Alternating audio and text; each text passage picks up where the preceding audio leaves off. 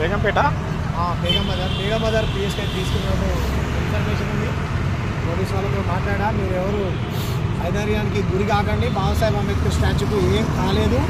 బయట ఉన్నటువంటి గోడని కట్టి కాంగ్రెస్ ప్రభుత్వం బాబాసాహెబ్ అంబేద్కర్ని అవమానిస్తుంది. పబ్లిక్కి కనపడకుండా చేస్తుందనే దాంతో అంటే వాళ్ళేమో డిజైన్ చేయడం కోసం మేము ఇంకా మంచిగా అందంగా తయారు చేయడం కోసం పెడుతున్నాం అని చెప్పేసి వాళ్ళు చెప్తా ఉన్నారు. ప్రభుత్వం వైపు నుంచి వస్తున్నటువంటి వాదనలు.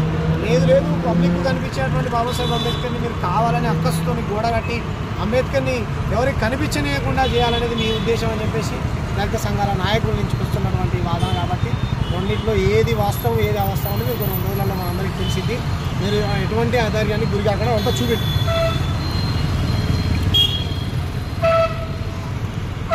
మనం పోందాం